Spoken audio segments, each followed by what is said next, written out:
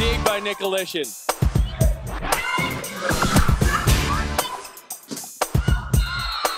It is out. A great solo block by Vernon. A phenomenal dig by Nikolition, and the Rams are rewarded. Emily Nikolition is fired up. Let's take another look at why. Michael Fine brings the puck out of the zone.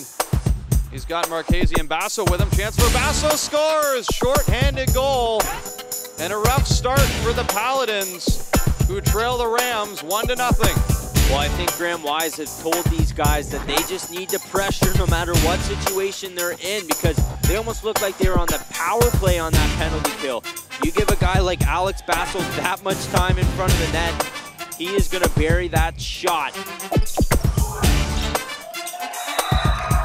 And Robert Wojcik closes out the third set with a big smash. To put the Ryerson Rams up two to one in this game on Coca-Cola Court. Off the turnover, fed in front, chance, and that one was stopped by Passingham.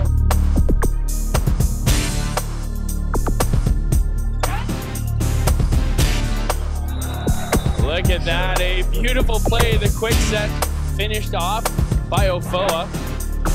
He just elevates, gets his shoulders up over the net, it looks like, and slams it. Are well on their way to doing so.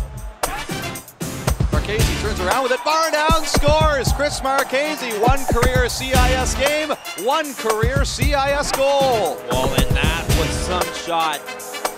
Oh my gosh, I don't think he had a whole lot to work with there on that far side. He absolutely quick snapshot blasted over the shoulder of Dupuis. And look at this, when you give a guy like that all day to do that, he is going to score. And that is pick up, trying to hold that deep hit down the line.